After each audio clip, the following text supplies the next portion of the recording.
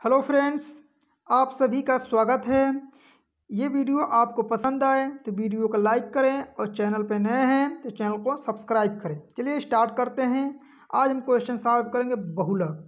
आपको एक क्वेश्चन यहाँ पे हम सॉल्व करके दिखाएँगे और दूसरा क्वेश्चन का आंसर कमेंट बॉक्स में आपको स्वयं लिखना है।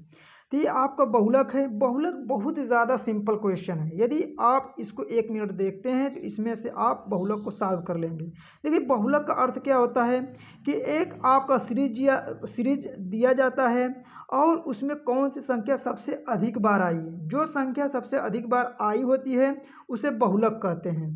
तो चलिए इसमें देखते हैं कि बहुलक कौन सा है। उन्नीस, अड़तीस, पैंतीस, छत्तीस, अड़तीस, पच्चीस अट्ठारह अड़तीस, पच्चीस अड़तीस और उन्नीस। इसमें से कौन सी संख्या सबसे अधिक बार आई है?